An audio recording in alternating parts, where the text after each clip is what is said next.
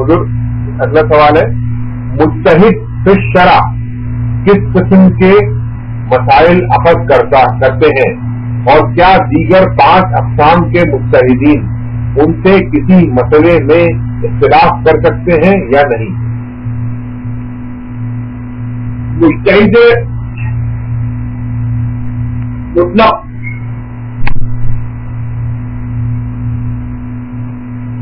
ये उनका मतलब है कि वो किताब और सुन्नत से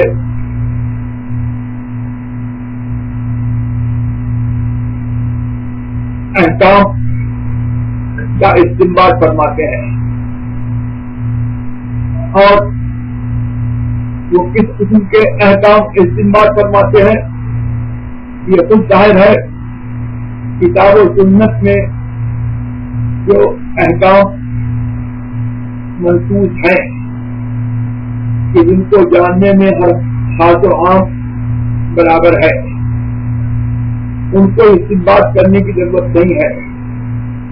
इसके अलावा किताब और सुन्नत में वो अहकाम जो आम लोगों के अजहान में नहीं आ सकते, मुश्तहिद को ये लियाकत सौंपी जाती है और खास उसको ये फहम अल्लाह की तरफ़ से नसीब होता है, अदा किया जाता है कि वो उन अहकाम को अपनी कोशिश और अपनी ताकत को सर्फ करके उन अहकाम का इस्तेमाल करता है।